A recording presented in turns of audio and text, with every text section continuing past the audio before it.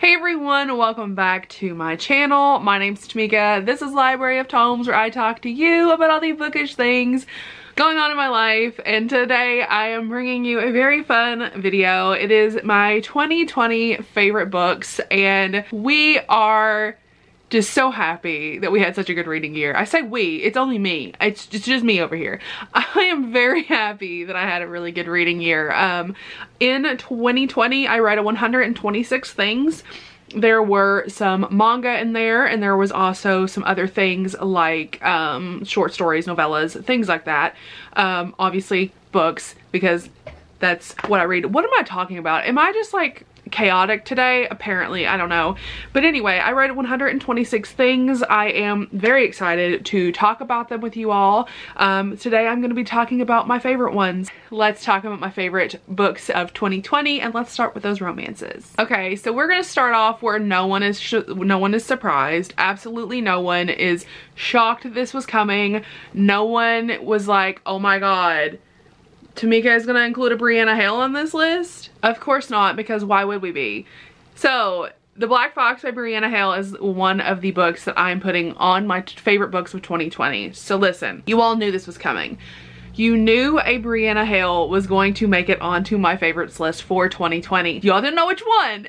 you probably figured it out by the end of the year, but y'all didn't know which one. So this book in particular came out in 2020. It also was one of my favorites that I read from Brianna in 2020. This is a Daddy Kink Zorro retelling. It is a novella. It is only 25,000 words. It is one of the best books I read all year. I loved it so freaking much. So listen, here's the thing. When I read this originally, I gave it a four and a half star. I was like, this is so close to a five star, but upon reflection, at the end of the year, this is definitely a five-star read. This is one of my favorite books. This is a Zorro retelling. This has cheating in it. This is where the most shocking part of all this comes in. This book has cheating in it. It is one of the tropes that I absolutely despise. I will not read books with that. I end up usually giving it a one star because I just can't get behind the motives of the characters or the motive of the story. But with this one, it was completely different. I was able to completely let myself enjoy this story. I was so worried in the beginning of this that I was not going to like it because of the cheating aspect. I fully expected going into this book, I was going to give it a one or a two star. But, and here's the but, I didn't because this story is justified with the cheating. And I never say that, but there's a loveless marriage here. The hero, Zacharias, did not marry this woman because he loves her. They have no real relationship. Like, in this story, really, there is no relationship between him and the stepmother of this stepdaughter he's falling for. And I think that's why I can get behind it because there is no emotional cheating happening here. There's no physical, I mean, there's physical cheating, but like, this relationship is basically a marriage of convenience with nothing in it. So I could definitely get behind this one. So Zacharias falls in love with his stepdaughter Lolita. Lolita cannot stand him and they have a very interesting relationship. They hate each other but really he is like really into her and he knows that he is the Black Fox and she doesn't and she loves the Black Fox. So she has a relationship with the Black Fox and she has to find out that it's actually her stepfather who she has no interest in whatsoever. Like she can't stand him. It's beautiful. I love it so much. Daddy Kink age gaps, step family, taboo. I love it. I love it so freaking much.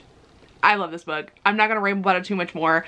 I want a full book on Zacharias because I just love him that much. He is like amazing. And the steamy scenes in this are off the charts. Absolutely wonderful. Like, uh, and the formatting on just this paperback, beautiful. Love it so much. I could not, I had to do Brianna first. You all knew this was happening. You just knew it. Next up, I don't have physical copies of these ones, but it's The Devil and the Devil's Advocate by Ashley Jade. This one is a little hard for me to explain, so I'm going to explain it kind of quickly with a synopsis and then just tell you like why I love it because it's absolutely bonkers and crazy and that is the entire reason I love it. So this is a dark romance. This follows Cain, Eden, and Damien. Now hear me out. Eden is Cain's stepdaughter he married her mother. Her mother passes away. So the entire world thinks that they are sleeping together and they have a relationship. She has just turned 18 in the story.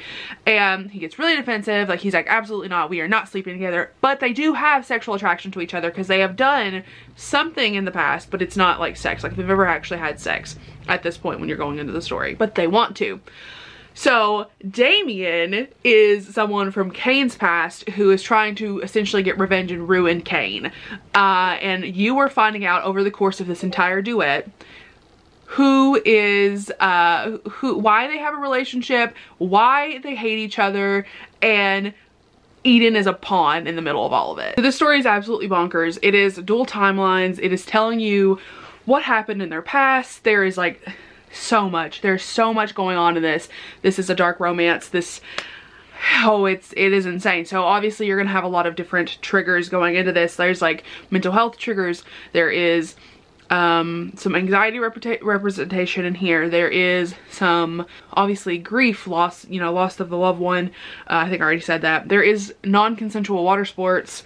There is uh, very graphic, graphic sex. Um, there is just just it's it's dark it is a lot so going into this i want you to know this book is dark this book is a lot and i i really recommend it i absolutely loved it it was a wild absolutely insane ride that I could not look away from. I read it in two days, the entire duet, and I want you to read it. I want you to read it. I want you to love it. It is absolutely amazing. It is an age gap. I, I really recommend this. I don't know how to talk about this book without spoiling it because there's so much going on in it you just have to go check it out. So next up we have The Takeover by T.L. Swan. Now listen, I know this book has went around booktube a lot lately and I want to first say this. I read The Stopover in February and I thought it was making my favorites list this year. I really did. I thought this book is going to be a favorite book of this year and then I read The Takeover and nothing has compared to it. Like when it comes to that book and the take like the stopover, the takeover and stopover, gosh, can't even get the words right now.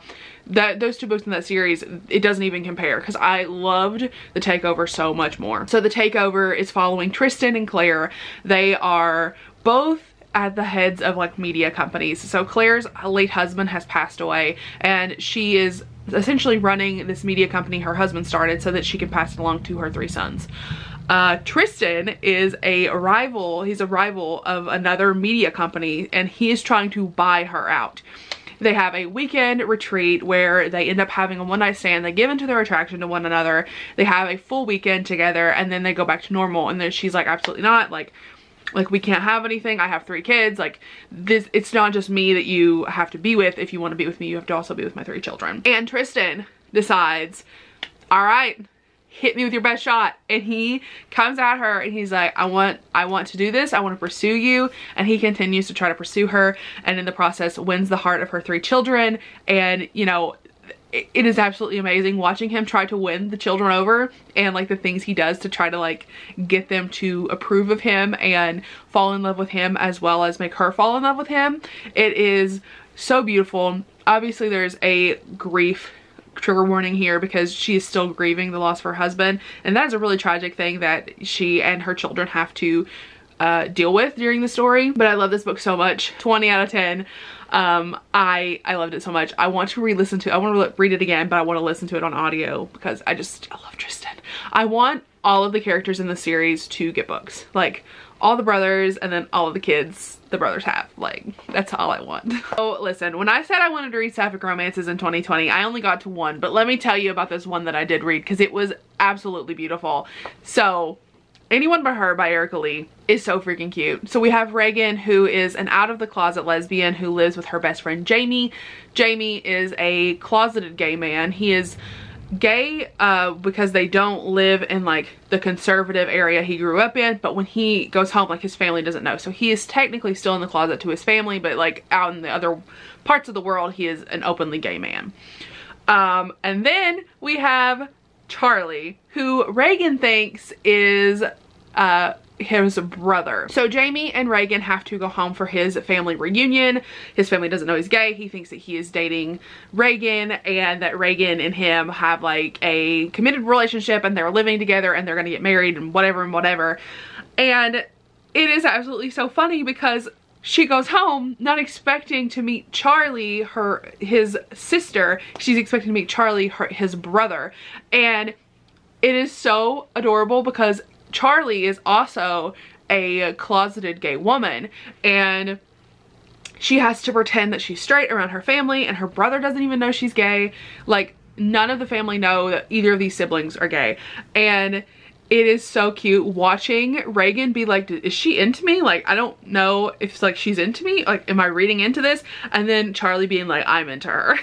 like, it is so cute watching them like kind of like tiptoe around each other because they're both really attracted to one another and like they are like trying to like tell the other one without tell the other one and then they have a relationship and the relationship is so cute and I just I just loved it. It was so freaking cute. And like they have to deal with a situation that like is really unfortunate where the two people who want to be together, one of them is not out to their family and like they're like in a very like toxic anti-LGBT family situation.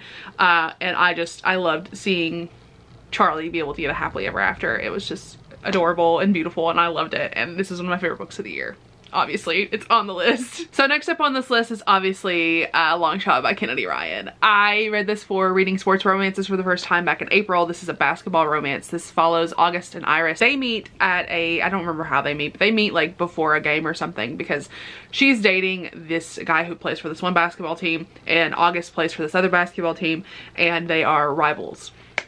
And he has no idea that she is dating his rival. Um, and they have kind of, it's not like a misconnection, but she has a boyfriend, so like nothing really happen, but they have an immediate interest in one another.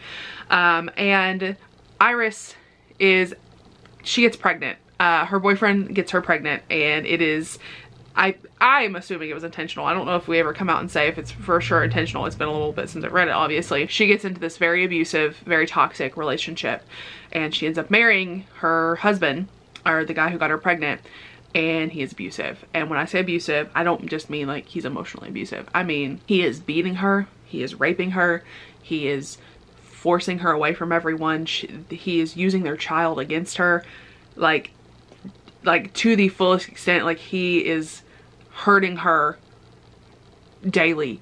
Um and she is absolutely broken down uh, by this relationship. And it's so beautiful because you you have no idea how her and August are gonna get this HEA and they do. So um, this is a very heavy one. This is a very hard-hitting one. I love this book. I think I cried a couple times reading this. It, it was it gave me a lot of anxiety going into this. I want you to like know that going in. There are a lot of triggers for this and this is a hard-hitting one. So uh, just know going in. This is hard, but it is so beautiful and I really recommend reading it. My camera battery died, so if there's an angle shift, I apologize. However, we need to talk about the next book on my favorites list, which again, I don't really think will be as shocking to anyone as it was not shocking to me as I put it on the list. And that book is Whispers in the Dark by Leteisha Newton. Now listen, this book is so so good. Before I tell you about this book, I'm gonna have to tell you the trigger warnings because I don't even want to give you the synopsis before I tell you how messed up this book is. We've got rape, we've got sodomy, we have forced miscarriage, we have uh, human experimentation, I'm gonna say. Not necessarily, but kind of. There is a lot of body modification as in um, not like a nose ring or a tattoo, but body modification as in carving things into people and then burning their skin so that, you know, it heals a scar. There is uh, sodomy on a man and a woman, just to be clear. There is also, uh, what else is in here? A lot. Kidnapping. That's a big one. Uh, so here, this is the story. This follows Alana, who is kidnapped when she's like 18. She's like going to school. She's like kidnapped off the street and she's taken in by this dude who uh, wants her to be one of his toys. He's calling women toys. He doesn't really see them as people. He sees them as like objects for his own pleasure and sick twisted games. Uh, so he tortures people and he originally gets Alana for his son who he's trying to train to also become just like him. Uh, his name is Jacob.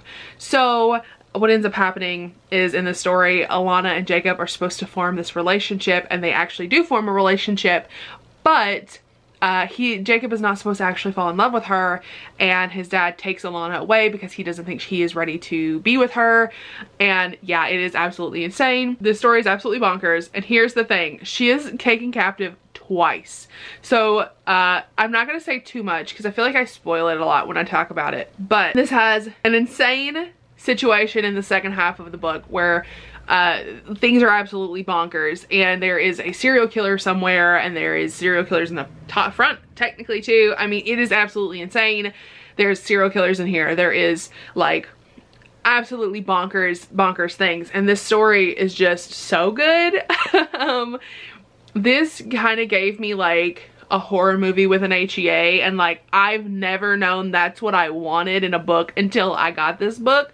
So I need every horror story with an HEA you could ever possibly find. I need them. That is like the new thing that I want. Um, and I loved this. This is absolutely crazy. If you like horror movies, if you like stuff that's absolutely messed up, give this book a shot. It's kind of hard to read at times, but it is so good. It is so dark and I can't stop talking about it. I don't think I will ever stop talking about it. I absolutely loved the story and I'm so happy we picked this for Taboo Book Club. It was so, so good and it was honestly, it is not the darkest story I've ever read but dark is subjective but this is one of the darker, one of the darkest books I've ever consumed and it was amazing and I was here for it every second of it. So say with with that, take that for what you will. Check it out if you want to. I obviously say to please check it out because I love it. So next up we have Eleanor and Grey by Brittany C. Cherry. Now obviously this follows Eleanor and Grey. Uh, I love the story. This is is such a beautiful, beautiful story. This is following Eleanor and Grey who had a childhood uh, relationship. They were very, very good friends when they were kids. He helped her through grief and it was it was beautiful. She is struggling with her mom who is having who has cancer and he has just had someone in his life uh, pass away from, I think it was cancer too. Um, they lean on each other, they become really good friends, and they end up falling in love as their kids, but they can't actually be together because of circumstances, because uh, she ends up having to move and they aren't able to be around each other. And their story is so believable because when you're a kid and you fall in love with someone like you are really up to like the circumstances that you were just in like with your family. If your family moves like you have to go with them. Like you're a child. You can't be on your own. Um, so their story was so believable because they loved each other and they cared for each other so much, but there was nothing they could do. Their circumstances were just out of their control. Um, and their fading apart was actually like so realistic and like I was so able to get behind it because it is literally what just happens to people. Like they just stop communicating. They just stop talking to each other. Like they just stop making time to like talk to one another because they're busy and like it is absolutely so believable and I loved I loved watching it. I loved seeing the fade apart so they can come back together. Uh, so this is a second chance, I guess technically, but I don't really consider it one. I consider it more of like a childhood friends to lovers and also a nanny romance because she ends up becoming his nanny and I just absolutely love the story. I loved the kids in this. I loved Grey. I loved Eleanor. It's such a good story. I don't really know how to talk about this book in in any more depth than I just did. I just I love this book and I really want everyone to read it. It is so freaking good and the fact that it took me so long to read Brittany C. Cherry is a disservice because it was so so good. So the next book that I want to talk about is Reasonable Doubt by Whitney G. I love this story. Oh my god. Okay, so listen, hear me out here. This one, I did not think I was gonna like it. It is an age gap. It is an office romance. And I am not really interested in law or lawyers or anything like that, but listen to this premise. So we have this girl who starts an account on this website for lawyers. Lawyers are able to like go in and ask questions about like their cases or, or whatever they have questions about. Her mom is a lawyer. So she takes her mom's login and makes an account so that she can talk to people to get help with her homework, right? And this girl starts talking to this dude on here and like they actually form a friendship and form a like type of relationship and he wants to be with her like not romantically but he wants to be with her And she's like, no, because she's lied about her age. She's lied about how, like, who she is. She's lied about all these different things. And she goes into an interview to be an intern at this a law, like this law firm. And he's like, wow, that just sounds really familiar because she asked him a question before the interview starts and she uses his answer he gives her and he's like, that's her. And he knows that she has a fake identity. He knows that she is who they've been he's been talking to, but she has no idea like what's going on. And it is absolutely so good. Oh my god, I read it in like a day. It was like a three part serial. It was so so good. Like I loved it so much. And like the mom and like the family is like so against her like doing ballet because she like she's a double major ballet and like pre-law I think. It's so good. It is such a good book. Oh my god. I don't even know how to like talk about it without just just being like oh my god it's so good. But like Whitney G just she really crafted this story and these characters were just so freaking amazing and like they worked so well together. Their chemistry was amazing and like the hate to love aspect to them falling actually falling in love oh my god. Freaking adorable. Loved it. 20 out of 10 uh need it like again. I want to read it again. It was so so good. So this one is another that doubled from my wildest books but i just could not not put this on here. This book broke a reading slump for me. This entire series did. But i'm only going to mention the first book but just know when i talk about it i'm talking about the entire series. So the Queen Takes Knights, The House of Isidore, their Vampire Queen series, this book, this story, this series is so good. Like listen, this book took my 2020 and was like, I know your 2020 sucked. Here you go, here's a present. So like this book was so insane. This is a paranormal vampire romance about this half human girl, or she thinks she's human, this human girl, so she believes, and she's like had her entire life she's been followed by monsters and she is in this like situation where she's on the run all the time and she meets these two men who want to save her and they are her blood. She finds out she is a vampire, but not only is she a vampire, she is a vampire queen. And she has to take men as her blood. These vampires, um, it's not just men, it's men and women, it's it's people, it's the vampires in general uh, she takes them as her blood. They become like her army and she has to go and try to do vampire queen things and like deal with the politics of a being a vampire queen. And like also they have a lot of orgies and it is absolutely insane. This is a polyamorous story. This She has multiple, multiple partners. I think there is like up to 10 in her nest. It's so amazing. I don't, again, I don't know how to talk about this series. I don't know how to talk about any of this in like any coherent way other than I freaking loved this. I flew through them. I read the entire series in a week. It was so good. I really recommend you check it out. I have pushed this on everyone. Uh, it's vampire smut. It is, that is what it is. It is vampire smut and I loved it. It is so good. Please go read it please, absolutely please go read it. So next we're gonna talk about my second favorite book of the year, which again, not gonna be a shocker, but it is a shocker for who I am. That is Highland Spitfire by Mary Wine. So listen, this one is not gonna be a shocker. It's not, straight up. It is not shocking. It's Highland Spitfire by Mary Wine.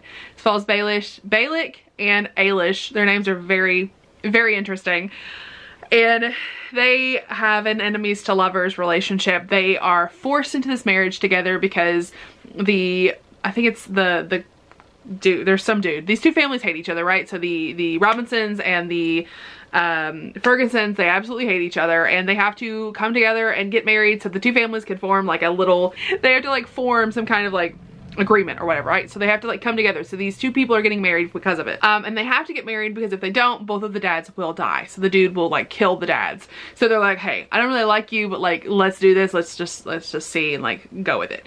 And like, so like our heroine is put in a situation where no one likes her. Everyone can't stand her. And she has to like fight and like show that like who she is and earn their trust and earn like their respect. And it's so beautiful because not only is she earning their respect and like showing that she can be a good contributing member to this like family, but also they are falling in love with each other and their chemistry, they're fighting it. They absolutely are fighting their chemistry and they are so freaking beautiful. I love them so much. Their enemies to lovers relationship worked so perfectly because they're enemies because they have to be and like they stop being enemies because they don't want to be necessarily and like she is such a like sassy and like amazing heroine and like he is just like here for it and I love it. It's so amazing.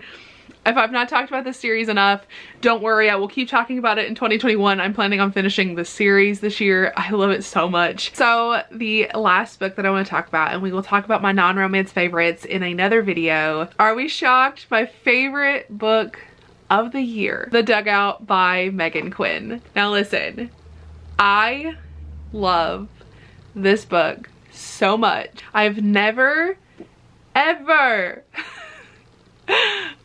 thought that I would be sitting here telling you that this sweet Friends to Lovers book is my favorite book of 2020, but here we are. So listen, this follows Carson and Millie. They actually have an encounter at the beginning of the story where they say like they're they're not like the best to each other. They have like a very bad like first impression of another, the other one. And Millie is studying to uh, be like a baseball trainer. Like she wants to train baseball players. That's like, that's like her goal. She wants to be a coach. She wants to train baseball players. She loves it. She's trained all her brothers. She has worked with all her brothers. Like this is like her dream, right? And Carson, who is our hero, actually had an injury where he had, uh, it took him out of a year essentially of playing baseball and he is coming back and his swing is horrible. So this is his senior year his swing is awful. He cannot connect the like he cannot connect the bat to the ball. And Millie sees it. She watches him and she's like, hey, I know what's wrong. And she pulls a video up on her phone and shows him exactly what he's doing wrong. And she's like, I will help you.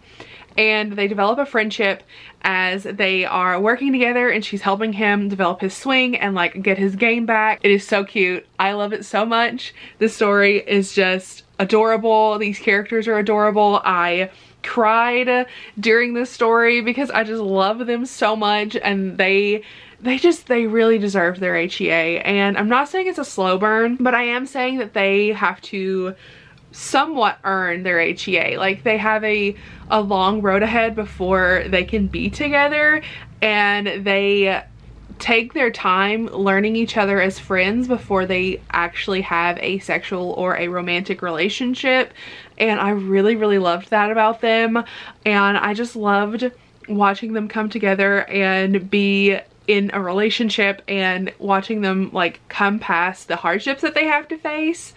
Uh, there are trigger warnings for loss of a loved one in here. Um, I just, I love this book. I love it so, so much and I really recommend it and I don't I don't have any coherent thoughts on this one either. Like as we have progressed through this list, my thoughts have went from like actually in depth and actually makes sense to I just love this book. Please read it. It's so freaking good. Like it's so cute. It's a baseball romance. It's a new adult romance. This cover is beautiful. I just just please read it. That's that's what I'm asking you. Just just go check it out and see what you think about it because I think it's worth reading and I love it so freaking much. Those are my favorite romances of 2020. I I, I'm just so happy that I have such a good list of romances for 2020. Narrowing this list down to what I was able to narrow it down to, which is I think 11 books, was absolutely insane of the 125 that I read. So please uh, feel free to read any of these books and, and just check them out. I love them so much. I cannot be happier that I read these books this year and I cannot wait to see what I read in 2021. Let me know what your favorite book of the year was. Let me know if any of these made it onto your favorites list because I would love to know and I would love to talk about them. So all of the links to these books are in the description and if you want to be my friend on any other platform, my social links are down there as well and I will chat with you all in my next video. Bye everyone.